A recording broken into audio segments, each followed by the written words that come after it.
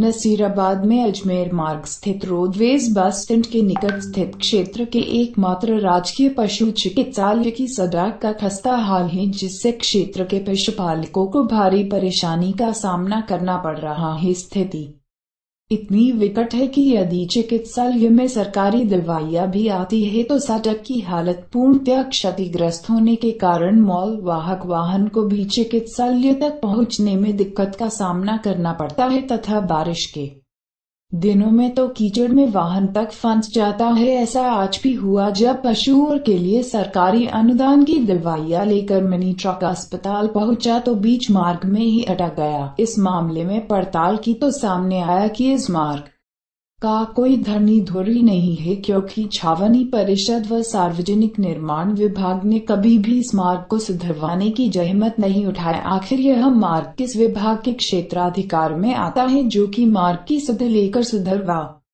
सके? अस्पताल में कार्यरत कार्मिकों का भी कहना है कि इस मार्ग को ठीक करवाने के लिए वार्ड पार्षद व विधायक से भी गुहार लगाए, मगर अभी तक किसी ने भी इसकी सुध नहीं ली, जिससे कार्मिकों व बीमार हुए पशुओं के पालकों को अस्पताल तक पहुँचने में भारी परेशानी का सामना करना पड़ता है। जो रास्ता था वो आपने बंद कर दिया पूरा और लिया थोड़ा सा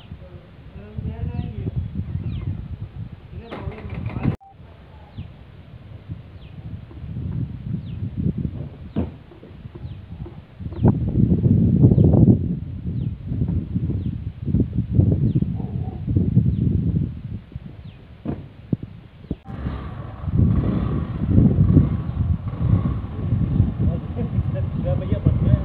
हाँ, निकला अगला निकल नहीं पशु चिकित्सालय नशेबाद का रोड है ना, बिल्कुल खराब हो रहा है। बारिश के कारण जो जो पशुपालक पशु लेके आते हैं, जाते हैं ना तो खराब हो रहा हम जो परिसर में रहते हैं, उनके भी आना जाने में परेशानी होती है। इस विषय में मैंने वार्ड नंबर दो के पास को दो तीन बार फ़ोन करके बताया, पर उन्होंने उनको बताया कि और अवगत कराया कि हमारे पानी भरा, वो आके देखेंगे, पर कोई कार्यवाही नहीं हुई। एमएलए साहब को भी? एम साहब को भी बताया। एमएलए एम साहब को भी सड़क के बारे में और परिसर के बारे में बताया था कि यहाँ पे बारिश के कारण पूरी रोड खराब हो गई है पर अभी तक कोई एक्शन नहीं हुआ।